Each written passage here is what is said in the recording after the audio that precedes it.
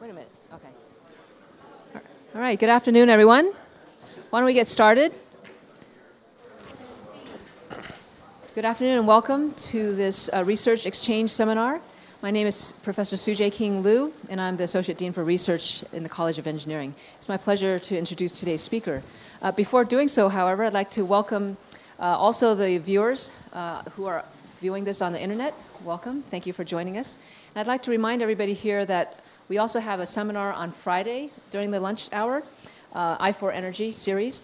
And this week, we're going to have a speaker talk about UC Merced's commitment to becoming zero energy and uh, to reach climate neutrality by the, by the year 2020. So I hope you'll come and join us for that interesting talk. All right, today's speaker is Professor Vivek Subramanian of the Electrical and Computer Sciences, uh, sorry, Electrical Engineering and Computer Sciences Department here at UC Berkeley.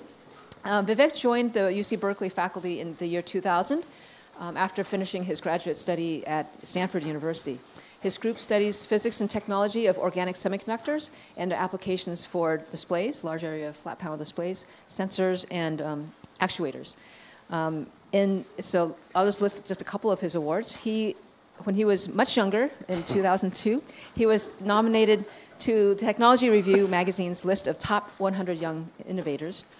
And he was also nominated to the National Academy of Engineering's Frontiers of Engineering. Um, uh, it's a prestigious symposium and he uh, earned a National Science Foundation Young Investigator Award. Uh, please join me in welcoming to the podium uh, Professor Vivek Subramanian. Thank you. Thank you. It's, it's a pleasure to be here. Uh, what I'm going to do, actually, surprisingly, this is the first time I'm actually attending the research exchange. I didn't realize there was so much food. I should probably come more often. Uh, what, what I'm going to do today is I'm going to uh, tell you about the research that my group does on printed electronics. Uh, and specifically, what I'm going to do is try to tell you about how printed electronics is really the merging of two very different fields. It's semiconductors, which is a vibrant field moving very rapidly, lots of changes, most people have advanced degrees, and printing, which is several, actually, several centuries old. And frankly, as I've discovered over the last 12 years of working on this, while there have been innovations in printing, there's almost been no progress in developing new physics to un understand and explain printing specifically. There has been a lot of progress in, in fluid mechanics, but very little in applying that fluid mechanics to printing problems. And it turns out, as I'm going to show you when we talk about printed electronics, there really are some tremendous challenges in combining those two fields.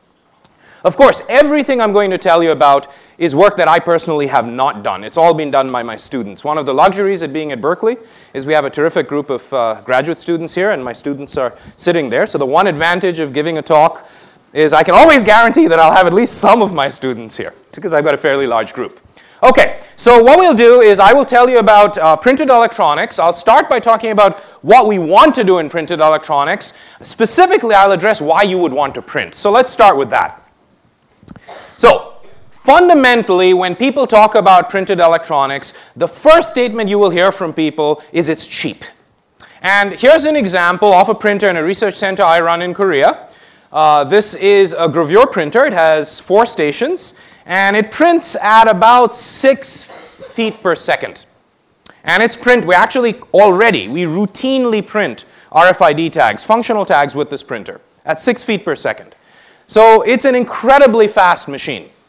Uh, but when, you, when printed electronics first came out, and this is about a decade ago, one of the things you probably read when you read the lay press was one day we'll be printing Pentiums. And I will tell you that's false. We will never be printing microprocessors this way. And if you wanted to do so, it would be a really dumb idea. So, and I'll tell you why. So let's talk about cost in particular. This is the first point to make about printed electronics. Printed electronics is cheap per unit area, but it is not cheap per transistor. And here's why. Printing is very fast. We can spit out large, um, large amounts of plastic or paper or cloth very rapidly, but our line widths are much worse. So let's take some numbers. A silicon transistor on a modern integrated circuit costs roughly one nanocent, 10 to the minus 9 US cents. Okay? A printed transistor using the techniques we use, even printing at these really high speeds, are on the order of about a micro, uh, actually about a millicent or a little less than a millicent. So we're about six orders of magnitude more expensive than a silicon transistor. So if you wanted to make a system where you wanted millions of transistors, it makes absolutely no sense to do it by printing. But printing is about two orders of magnitude cheaper per unit area than even glass displays used, using conventional techniques, and about four orders of magnitude cheaper than silicon. So if you're looking at an application where you want to do things over a fixed area, printing makes a lot of sense. And so the obvious applications of printed are electronics are in things like displays, and it turns out in low frequency communication circuits because the passive components in a communication circuit set the size of the circuit, and also in some sensing applications. But the fundamental problem is if you just talk about cost, new technologies are never cheap because you have to pay for the cost of R&D. And this is arguably why printed electronics to this point has not had any really big industrial successes because everything people have gone after so far are driven by cost. And that's not a good way to get new technologies into the market. So what else can we do?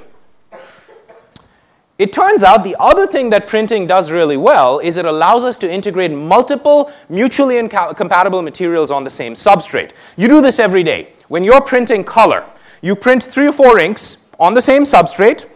The added cost of addi adding additional colors is not that high, and you can put them on the same substrate very easily. You don't even worry about it. The same is true for printed electronics. We can add multiple materials that might be mutually incompatible with each other on the same substrate, and the added cost of doing so is not so high. So instead of living, limiting ourselves to one functional unit, a transistor, we can put a whole bunch of materials that may be incompatible with each other on the same substrate. So for example, we can put multiple things. We can build sensors and batteries and passive components and active components and display elements all on the same substrate. And if we're doing things like digital printing, so inkjet is an example, we can customize on the fly. So it turns out I've, I've worked for many years with a startup company called Kovio. They're uh, the next generation Los Angeles Transit Agency limited use subway tag was a tag that I was involved in designing, and it turns out it uses digital printing to do customization for making sure that every tag is unique. And that is something that printing does allow us to do. And then, finally, it allows us to use flexible substrates, plastic. We routinely print on plastic in my group, paper, or potentially even cloth. So you can do things that are lightweight, robust, and flexible.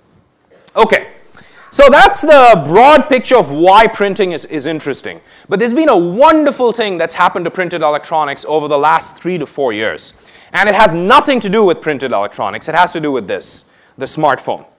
The traditional problem with a lot of the applications we were looking for for printed electronics was really dumb devices are not that easy to work with because to give you some perspective, our transistors about two, are two orders of magnitude slower than even 10-year-old silicon transistors. In some cases, more than that. And so that means that there's not much we can do. And so traditional ideas of using dumb devices still require you to get information in and out of those devices. But we now have something new. We have the cloud, so that does data aggregation, etc. But we have now got a gateway to the cloud. We now have a cell phone that implements a protocol called NFC. Turns out we can already make printed transistors into circuits that are NFC compliant. And what that allows you to do is you can now put a whole road of different devices around. And I should give credit to Jan Rabaey. He called this the swarm, and it's a very compelling vision. And you can put a whole host of different devices around that use the cell phone as a gateway to do really interesting things. And the things you can do are you can put printed sensors and very simple displays and simple computational devices in this cloud, and now you get the benefit of aggregate. You get the benefit of having millions of these devices and doing really interesting things like environmental monitoring or product quality detection and so on. And to make this happen, we need to have a lot of them, which means they have to be cheap. So this is potentially an area where printed electronics is going to see a new opportunity to emerge, and it looks like it's happening. We're starting to see a lot of sensing type applications starting to emerge. But the, the classic example that I've always used is the example of smart packaging. So let's take a, a can of soup and say, well, what can we do to make it better? And now I'm not going to talk about making it taste better, but uh, let's talk about the packaging of it. One thing that's been a traditional idea for printed electronics is doing RFID, so electronic barcodes. That is one thing, in fact, we can already do today. They don't, they're not standards compliant yet, but they work moderately well. We can print RFID tags today on little strips of plastic, and we can attach them to these objects, and then we can read them over short distances, but it eliminates the need for optical scanning. The other application where printed electronics has already had a fair amount of success is in real-time labeling. We can make very simple displays uh, that are very cheap. They don't have a huge information content, but they're good enough to do things like tell you pricing or, uh, for example, do automatic inventory. I'll give you a classic example. It turns out in supermarkets, uh, the supermarkets really want you to buy the meat that is just about to expire or the dairy that's just about to expire. One way they do, they used to do that, is they would reduce the price right before expiry. But it, it, turns out in the US, it's more expensive for them to go and retag the price than to just throw it away, which is crazy to think about. If we can do real time, so we have a communication device that talks to the supermarket, and we have a real time pricing system that updates at an item level, we can address that problem. And then the final thing we could do is we could put sensors. As you probably know, well, we all do this. You know, you, you buy a, can, a, bottle of milk and it sits in your fridge for a while and it's past the expiry date, but you don't throw it away. You, you sniff it, yeah, it smells okay, and you drink it.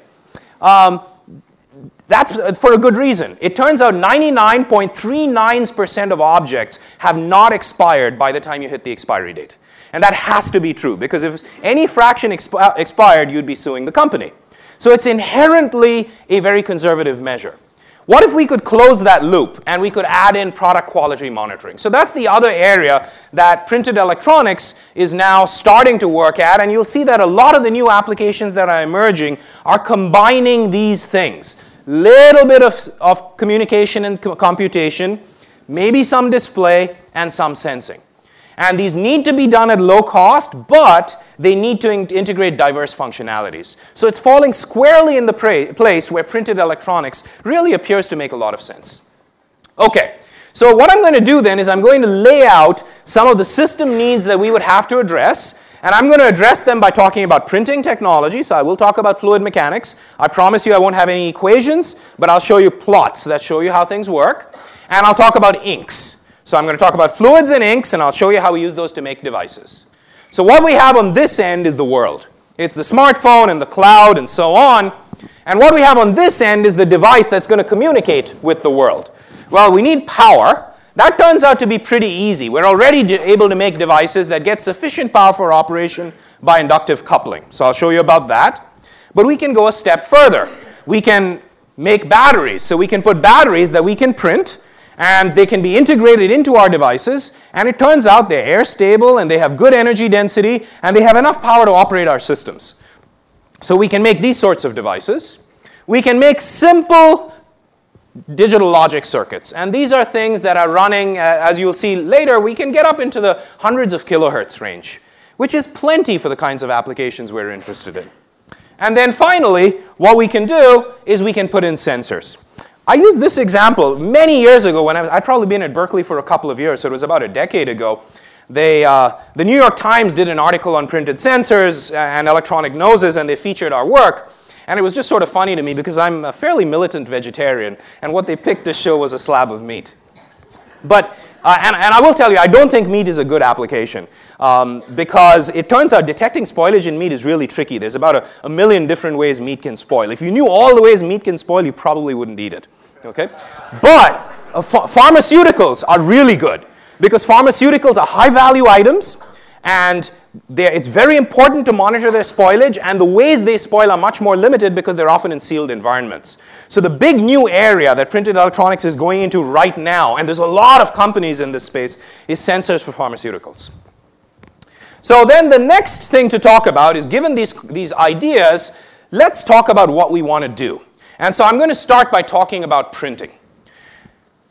For those of you who come from the silicon world, you'll recognize this as a layout of some arbitrary circuit. I don't remember what this was. I think it was part of an op amp from many years ago. And this is an arbitrary silicon circuit. And you take this for granted. You take for granted that what you can do is you can have multiple layers and you'll define them as a series of squares and rectangles and you'll make a mask that projects it and you'll get something that's pretty close to it. And we have multiple layers of software in the silicon world that makes this happen. We have software we use for simulation, we have software we use for layout, and we have software for post processing. I'll give you a specific example. If you are trying to make a state of the art layout and you want to make a rectangle, what's on your mask is actually not a rectangle. It's sort of like a rectangle, but it has carrots on the end.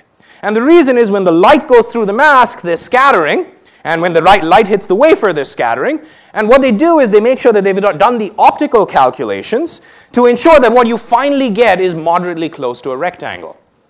We need to do the same thing for printed electronics. We need to build the same chain of software and hardware and system knowledge to allow us to do this. But the physics changes. Instead of dealing with the physics of light scattering, we're dealing with the physics of fluids. And so essentially, that's what we have to do. We need to deliver this to make it happen. And within my group and many other groups around the world, we've put a lot of these pieces in place. Uh, what I tell people is when I first started in printed electronics, and this is 12 years ago, every single material my group used, we synthesized ourselves. We built our own printers, we synthesized our own materials, we built our own devices, we built our own circuits. Today, about more than half the materials we use, we buy commercially. There's now commercial printers, not quite as good as ours, but pretty close. Everything's falling in place. So the opportunities for printed electronics have gotten much bigger with progress. Within my group, we work on two main printing techniques. We work on inkjet printing and we work on gravure printing. So inkjet printing you're all familiar with because most of us have had inkjet printers at some point in time. The big advantages of inkjet printing is it's a very flexible technique. It's digital input, so you can change designs on the fly. Gets down to about a 10 micron resolution, but it has several problems. Uh, in particular, it's inherently pixelated. You're building patterns with individual drops, and it turns out when you shoot a million drops out of an inkjet head, they don't all fall at the same point. There's a certain uncertainty of, of the ejection. And that itself is on the order of about 10 microns. And it gets worse as your features get smaller. You actually get Brownian motion of the drops that drives them even wider. So it's not scaling very well, and it turns out to be somewhat slow. But it is the workhorse technique in printed electronics because it's very well studied. It is by far the most studied technique for printed electronics. Within my group and about three or four other groups in the world, we also do work on gravure printing. Now, gravure printing you're all familiar with. It's a technique that's used to print currency and postage stamps. So it's a metallic cylinder with wells etched into it. You ink the cylinder and you use it to print. It's used for currency, postage stamps, and glossy magazines because the pattern fidelity is very good. So the one thing I guarantee my students is no matter what, they will always have money because they can always be forgers. So that's at least that part is covered. Okay? And uh, the, the big advantage of gravure, well, it has an advantage and a disadvantage. The advantage is we can get below 10 microns, no problem. Um, some of my students are now in the single micron range in terms of what we're able to do. The other big advantage is it prints really fast. We print at one meter per second approximately. The other joke I make, some of you have heard me say this before, is when I run my printers at full speed, I exhaust my entire annual research budget in two hours of printing. So on that note, if any of you would like to support my research, you know, so, so but no, this it, it is it's a power. The big it's, it's expensive in research because it's so fast. But imagine the benefits in production. It's really fast. Uh, but one of the other things I should point out, you'll notice these are custom machines. These are not your desktop printers that you're used to. These are semiconductor manufacturing tools with vibration control, particle minimization strategies, cameras to do inline inspection, software to control, you need that to make this work. So what we then do is once we've got this to work, once we've got these printers that are really stable, let's talk about actual printing. And I'm going to use inkjet as an example, frankly, because we've been working on inkjet for over a decade and we have a pretty good understanding of it. So let's take an example of trying to print a line. And the big difference between printed electronics and graphic, as in graphic arts, is the substrate. In graphic arts, we have a very forgiving substrate. We print on paper. And paper, we have two beautiful things that help us. One is the eye averages out defects. So you don't see a lot of defects that exist. And two is the paper absorbs solvent. So it sort of takes care of everything. All the solvent goes into the paper, and you don't have to worry about where that solvent goes. When you print on plastic and you're printing electronic systems, one dot missing could be an open circuit, one dot in the wrong place could be a short circuit, and you have to worry about where the solvent is going because it's really not getting absorbed in the plastic. And so it turns out understanding this is critical. And so here's an example of a series of prints done on, a, on, on plastic with the very same ink. And all I've, I've kept the temperature the same, I've kept the ink the same, everything's the same except I've changed the drop spacing, the separation between my drops. Basically, how much my printer moves before I print. And you see that there can be hugely different patterns I can get. I can get isolated drops, I can get scalloped lines. I can get this nice smooth line, which is what I want because this is what I'm using to build my transistors. Or if I'm not careful, I'll get something like this, where it looks like I'm getting a really smooth line and then suddenly I get a bulge. And then it goes away and then I get another bulge. And you think initially, oh, something must have gone wrong with my printer, my stages weren't correct, but it's systemic to the way inks flow. And so let me give you at a high level a few snapshots of the things that we care about. In other words, how graphic arts problems, how printing problems have to be addressed to make printed electronics real. So let's consider an arbitrary drop uh, of a solvent containing ink falling down and hitting a substrate that does not absorb the ink. So uh, the, the, the, ink will, call, will spread, it'll form some, some, some sort of hemispherical cap, and it turns out for many of these systems, the drop ultimately gets pinned. In other words, it expands to a certain radius and gets pinned to that point. Now consider what happens. The solvent is evaporating out of the drop. It cannot be absorbed into the substrate. So the solvent is only coming out from the top. And if you were to sort of do a projection of surface area to volume for any part of this system, there's a huge amount of surface area to volume at the edge and a very small amount of surface area to volume at the center. And so what that means is there's much more evaporation flux at the edge than at the center. And what happens is that causes a convective flux that pulls the ink to the edges of the drop. And this has been known for quite a while. It's well understood and explained, and it is called the coffee ring effect. And it's called the coffee ring effect because at the end, what you get is you get the same pattern you get if you leave a dirty coffee ring on a, on a, on a table. You get that ring of material on the edges. And so you see, I'm trying to print a, a line, but what I got is I got all my material to move to the edges. And this is really bad because it's exactly where I, what I don't want. It's not smooth, the ink is not where I want it to be, and my feature definition is poor. So there's ways to address it, and we have techniques to essentially control the convective flows to essentially eliminate that. But it extends to other problems. And so let me show you line formation. Specifically, I'm going to explain that bulge using the same idea. So let's say we've started printing a line, and I put the next drop down. When I put this next drop down, depending on how far this drop is from this line, there's going to be some connection point. Coffee ring, the same behavior that causes the coffee ring, is going to cause the ink from this drop to want to flow back into the line because it, that's what the convective flow will drive. If this connection point is too narrow, the ink is not able to flow back into the line before it evaporates sufficiently here for the pattern to gel. And so you end up getting scallops. This is what I don't want. On the other hand, if the connection point is really large, there's massive flow of ink back into the line. But what is this line? It's a pipe. You know that there's a maximum flow that a pipe can accommodate at a given pressure differential. So the pipe takes what it can, but ultimately it's just not able to take it when it's got a huge flow back into it. So it just bulges out. And it bulges out, and the moment it bulges out, it's become a wider pipe. And so it accepts the flow, and it necks back down again, and then it grows a little bit longer, and then again it gets constrained, and then it bulges out again. And so there's a perfectly predictable separation between the bulges. And we can model this perfectly. Today we can use very simple closed form analytical models that describe all of these regimes. What we are getting to is we're getting to the software. But our software is now physics of fluid flow, it's not optical proximity effects. And so we essentially can model this and control our regimes. Uh, I'll give you another interesting example. This is one more that's, uh, uh, that I think really illustrates some of the issues we have to deal with. If you try to print a square, we want squares. Uh, most, of, most electronic circuits that we build are based on what we call Manhattan geometries, which means squares and rectangles. So if I'm trying to print a square, and I just do it by placing uniform drops, it turns out it's really difficult to get a square square what you'll invariably get is all sorts of non-idealities. the place you start printing will bulge out, and the place you finish printing will break up into separate beads. And the reasons for this, it turns out, are also fairly straightforward. let's say I'm building this square. I start printing at one end and I work down and I keep working over with my inkjet system. As I'm adding each additional drop, I'm adding an increase in volume, the volume of the new drop, and I'm adding an increase in surface area because I've placed that drop a further distance away. When I go from one drop to two drops, I've doubled the volume and I've roughly doubled the area. But when I go from 31 drops to 32 drops, those ratios aren't the same anymore.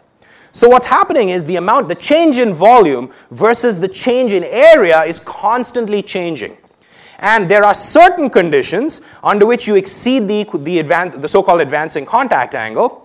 And what will happen is the ink will flow out very rapidly and cause a bulge. And that's why early in the printing, when you've just started, when there's large changes in volumes and area, you get bulging. And late in printing, when there's small changes in uh, volume and area, you get bead separation. So how do we solve it? Well, pretty easy. We write software that says, let's figure out in real time, as we are building our pattern, what our equilibrium conditions are. And instead of trying to print a square that is a square, we print a square that's not a square, but we know based on the fluid mechanical considerations, when it's finished flowing, it'll be a square. So I call that print proximity correction because essentially it's like optical proximity correction which is used in the semiconductor industry but is dealing with the fluid mechanics of fluid flow. And by doing this we're able to make nice squares. All right, so that's all focused on inkjet. Gravure has many of the same problems and in fact even more. But the beauty of gravure is the control we can achieve. So commercial gravure for printing poster boards runs and, and currency runs at 400 meters per minute. So that's blazingly fast. The way it works is you have a metal cylinder with wells etched into it. You ink the wells, you wipe it, and then you transfer and you create a pattern.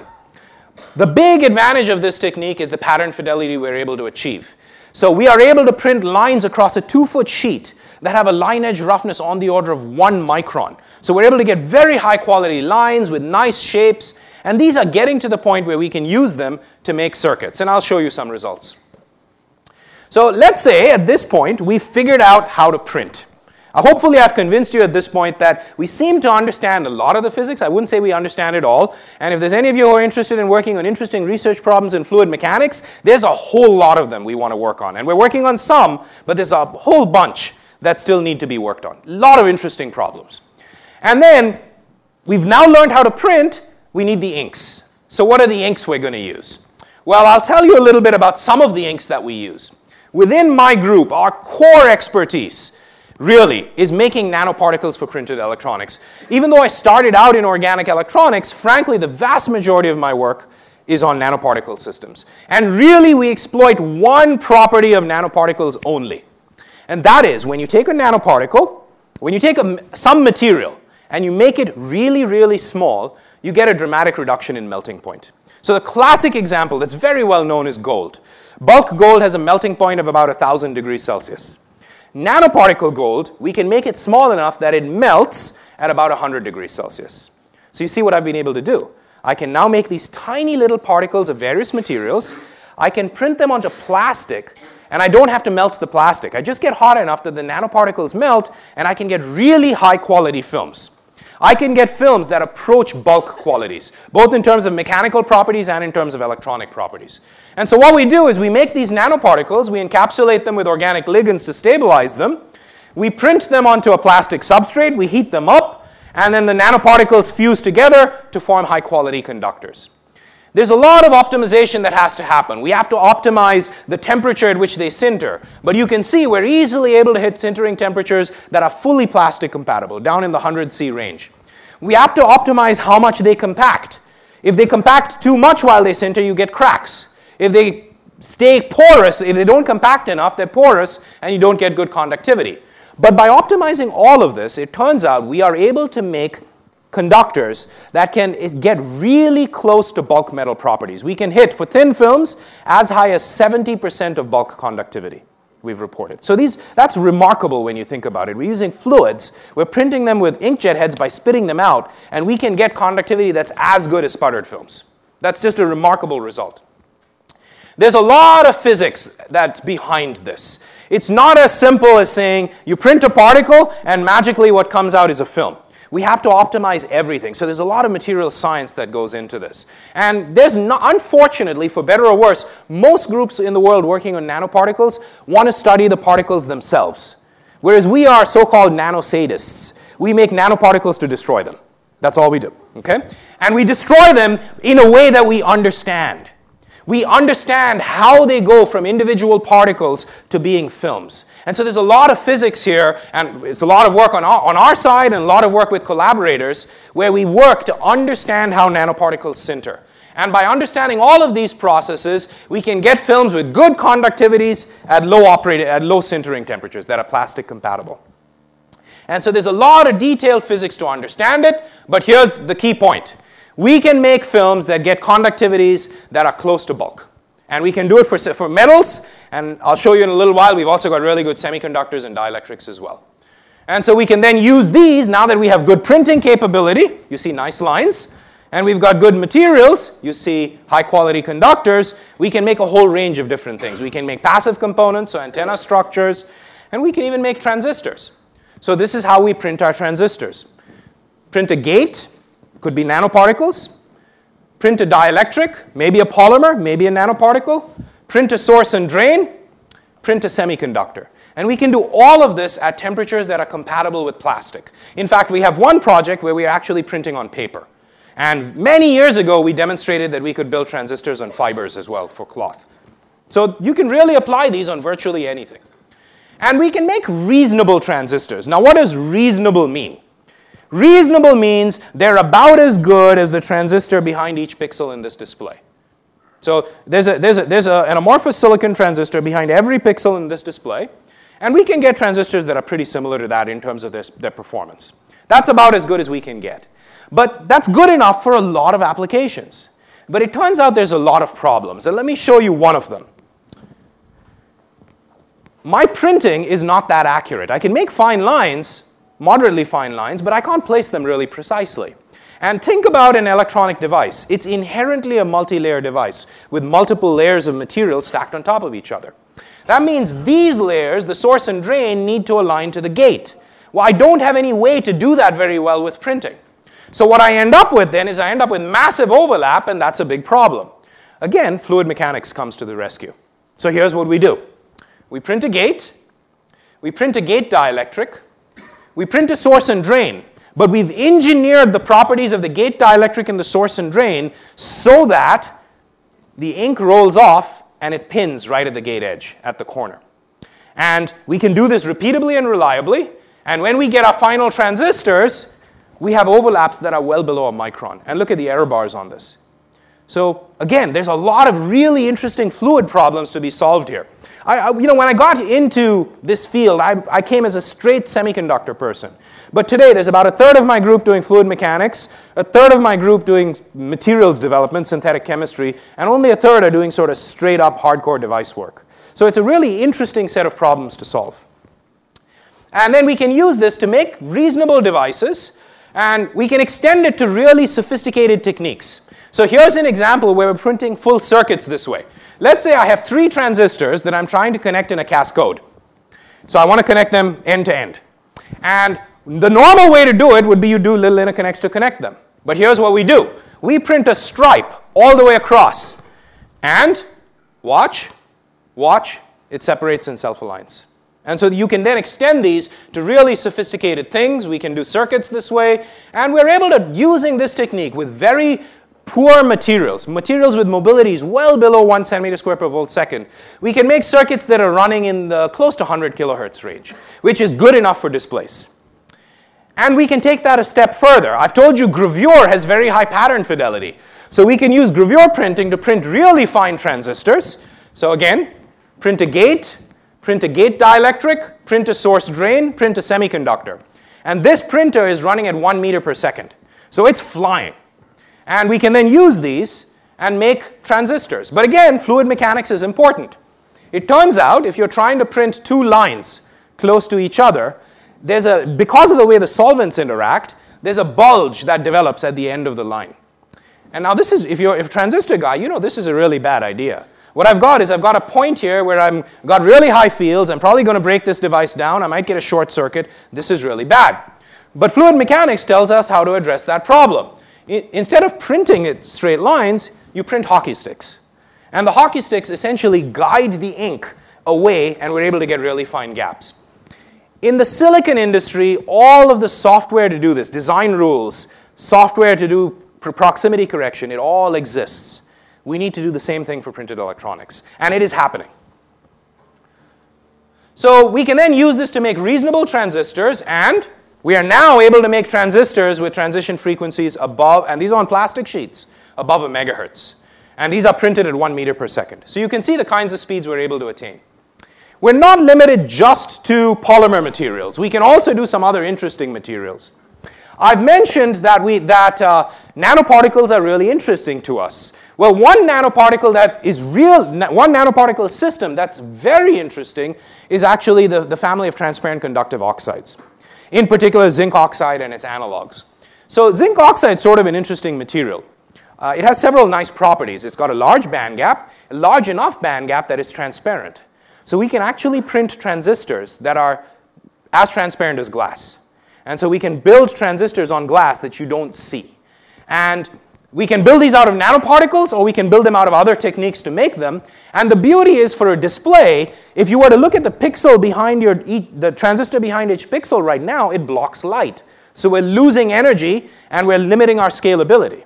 But with transparent materials, we can essentially eliminate that trade-off. We can put arbitrary transistors behind the pixels and get them to work. And so we make zinc oxide nanoparticles and we can print them and we can get actually really good results. On plastic, we have mobilities now that are getting close to one centimeter square per volt second. And I'm going to show you in a few minutes at glass compatible temperatures, we're now at mobilities above 100. So these are very recent results and we are now able to make transistors on glass using tin oxide and zirconia, all solution processed. So these are all done with inks with mobilities above 100, which means we can start doing really serious things now. I mean, we have enough performance to start addressing serious computational issues with these sorts of devices. So we're also, I'm a transistor guy. I like working on transistors. But we're not just limited to transistors. And I'll show you one example of some of the other things we can do. So we can, in collaboration with, uh, with uh, Professor King Liu, what we do is we actually build MEMS devices. So using printing techniques, we can actually print things like cantilevers. And one of the big problems in displays, it turns out, is what really matters for a display, especially an LCD, is not the on current, it's the off current. Because the, the blackness of your black, as opposed to the grayness of your black, depends on how low your leakage current is. A little bit of leakage means your black looks gray, and the eye picks that up right away. So off current is really important. Well, there's one way to make a really good off current device. We make a mechanical switch. So we print a mechanical switch, and you can see that's inkjet printing. We're actually building MEMS devices with inkjet. And these switches have beautiful characteristics. They are essentially 100% off when they're off. We're at the noise floor. And it turns out they switch at up to a megahertz, hundreds of kilohertz to a megahertz range. So you wouldn't want to use them for high performance things, but a display runs at 120 kilohertz stop speed, uh, 20, 120 hertz stop speed for the, for, the, for the row addressing. So this is, works great. And these are some of the things that printed electronics enables. So I'll end by pulling together one more application. And the other application I'm going to pull together is the electronic nose because this is something that we've been working on for many years and it's now something that companies are starting to commercialize. So if you ask anybody who's worked on organic transistors, especially in the early days, what was the biggest problem with organic materials? They would say they're unstable. You'd expose them to air, they would degrade. You'd expose them to moisture, they would degrade. Uh, the joke is you, you look at them and they degrade. Okay, that's literally how unstable they were. But it turns out that degradation could be useful, but only in specific ways. In the early days, people would say, well, it degrades, you can use it as a sensor. But a sensor is only useful if it has specificity. You've got to avoid false positives. But we can get that. Here's what we do. We print different organic transistors with their channels exposed, but with different organic materials. Each organic semiconductor is functionalized to be a little bit different. One may have an amine on it, one may have a carboxylic acid on it, and then when you expose it to something in the air, it responds slightly differently.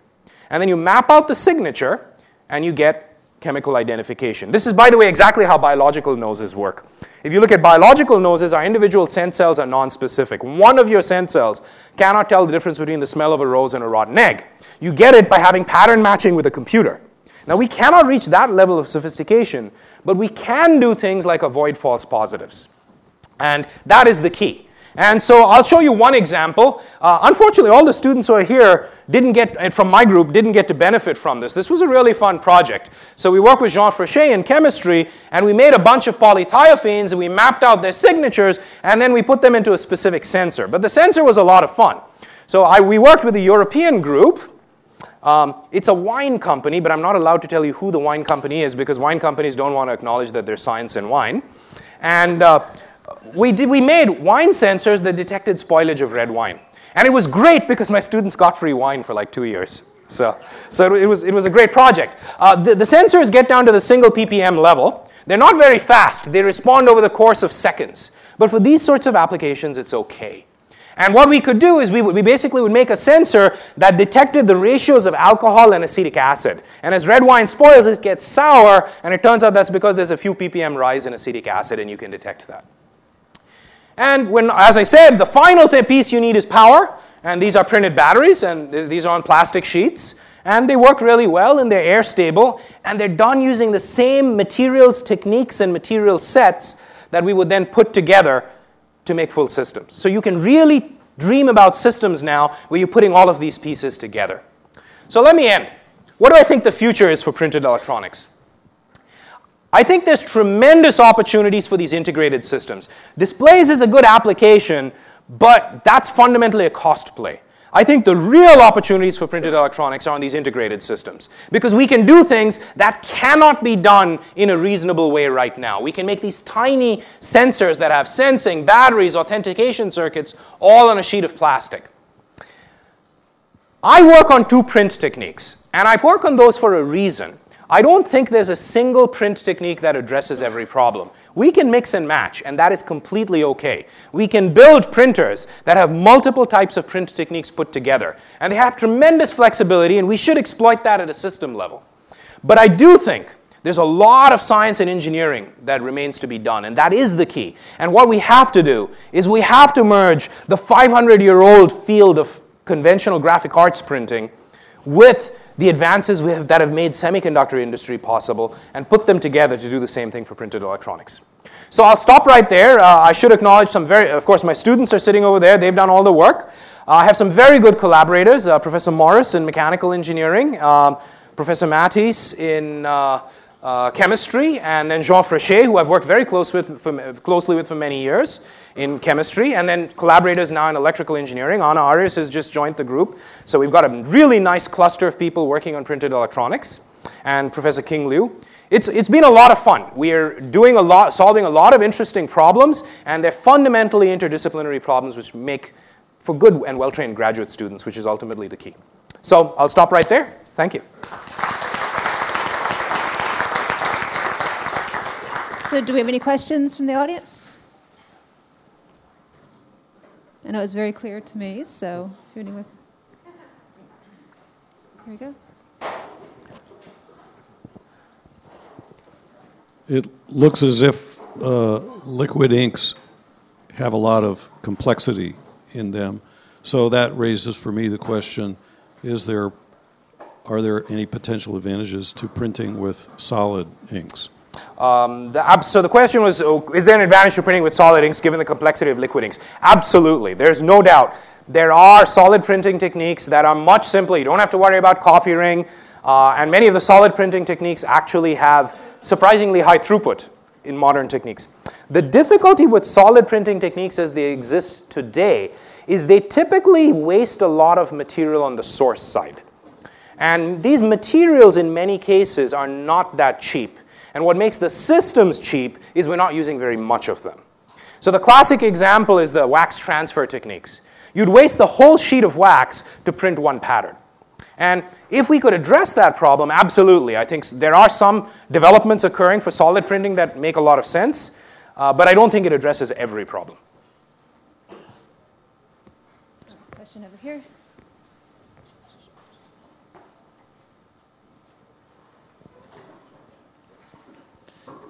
So along the same lines as dry printing techniques, what about something like spray drying? Um, some sort of drying during the delivery process. Uh, I mean, well, so drying during the delivery process actually already exists. There's a company that makes an aerosol printer already that essentially dries as it hits the substrate. Uh, yes, so I, I, do think it has a place, absolutely. Most of those aerosol-like processes are not fast enough to do everything. I mean, they're just orders of magnitude off in terms of throughput. So I think they'll be really good for very specific things, but for you know throwing out sheets of printed conductors, you probably want to do them with something like Gravure. But there are companies doing aerosol printing, and it actually their results are really good. So. There you go. Uh, I'm very inspired by the like future of the cloud thing. Um, but one question I have in mind is that we are uh, sometimes when we are recycling stuff, there's something called electronic waste. Mm-hmm. So if we are putting all those electronics on all the packages of the food, and uh, is there any recycling issue? Um, the, so that, absolutely. Uh, I, there are certain big issues that have not been addressed yet. One is recycling. The other is actually toxicity. Uh, for example, we use silver in a lot of our work. In Europe, you're not allowed to uh, dispose of silver in waste. So for, for good reason. It, it, it, there's a biological hazard with silver, and there's some, several other materials like that. So the answer is absolutely, I don't know how to address them. So it is an important problem. I think it is going to require the entire supply chain to align, including people on the other end who are looking at reprocessing and recycling. It, undoubtedly, it's an issue. Okay, well, if we don't have any more questions, thank you again, Professor Subramanian, for Thanks. a great talk.